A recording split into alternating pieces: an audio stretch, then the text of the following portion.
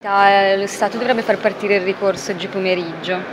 Ma insomma è chiaro che aumenta l'amarezza perché l'abbiamo sempre sostenuto, avevamo il dossier migliore, eh, avevamo tutte le condizioni, avevamo il Pirellone che era il luogo in cui in pochissime settimane si poteva dire, spostare eh, tutto il centro di EMA il, senza eh, alcun problema e ci ritroviamo oggi con una scelta, con un atteggiamento eh, dell'Italia al momento della decisione non così efficace e determinante, è stato mandato un sottosegretario a perorare la nostra causa invece che andare il primo ministro, il ministro degli esteri eh, e oggi siamo qua a rimpiangere, a leccarci le ferite, a sperare eh, che quello che noi avevamo sempre detto, cioè che Amsterdam era una scelta inadeguata, eh, possa portare ad un cambio eh, di rotta. Mm, mi sembra più un tentativo politico che non reale perché la scelta non è appellabile a nessun organo di giudizio, è evidente che qualora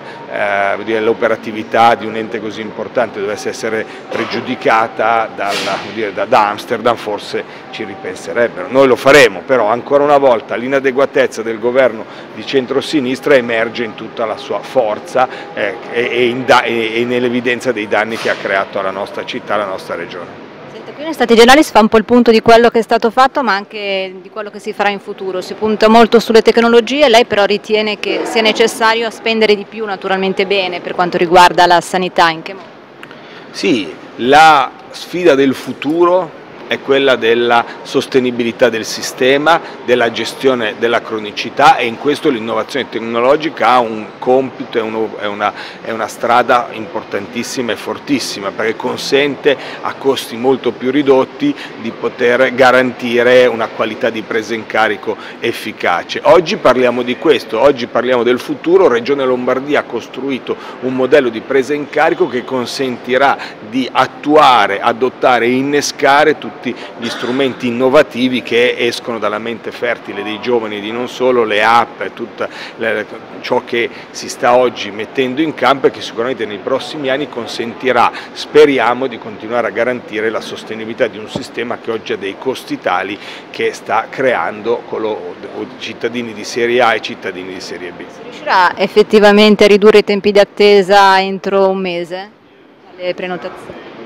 Noi abbiamo messo in campo molte misure e abbiamo anche chiesto eh, alle nostre aziende attraverso la, eh, la, canalizzazione e la finalizzazione di risorse specifiche sulle prestazioni diciamo, eh, più importanti di garantire i 30 minuti. È chiaro che eh, il problema è quello del reclutamento del personale, il sistema eh, sanitario italiano è sottofinanziato, oggi 114 miliardi di euro corrispondono al 6.3% del PIL.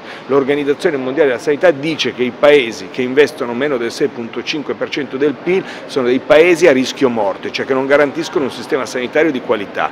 Oggi ci saranno anche dei parlamentari nazionali, dei candidati nazionali, chiederemo a loro un impegno preciso perché o noi abbiamo soldi per assumere il personale, per finanziare le strutture e quindi che, che, che erogano prestazioni ambulatoriali oppure il tema delle liste d'attesa, il tema della presa in carico dei bisogni più evidenti dei cittadini non si realizzerà. Alla luce della chiusura delle liste ieri, soprattutto sì. nei collegi uninominali, si vede che la Lega in Lombardia ha molti più collegi. Forza Italia ha fatto in certo senso un passo indietro.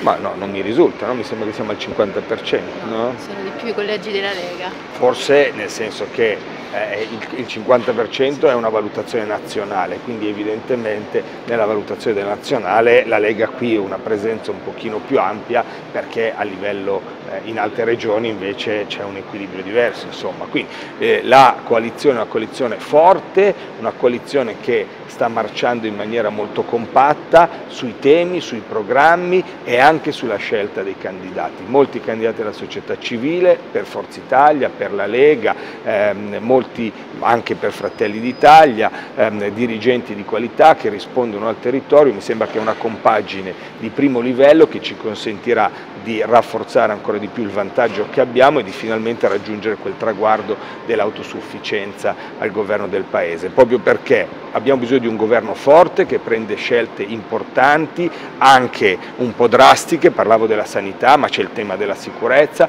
dobbiamo dare priorità alla destinazione delle poche risorse nazionali che ci sono e secondo me ci sono tutte le condizioni per farlo.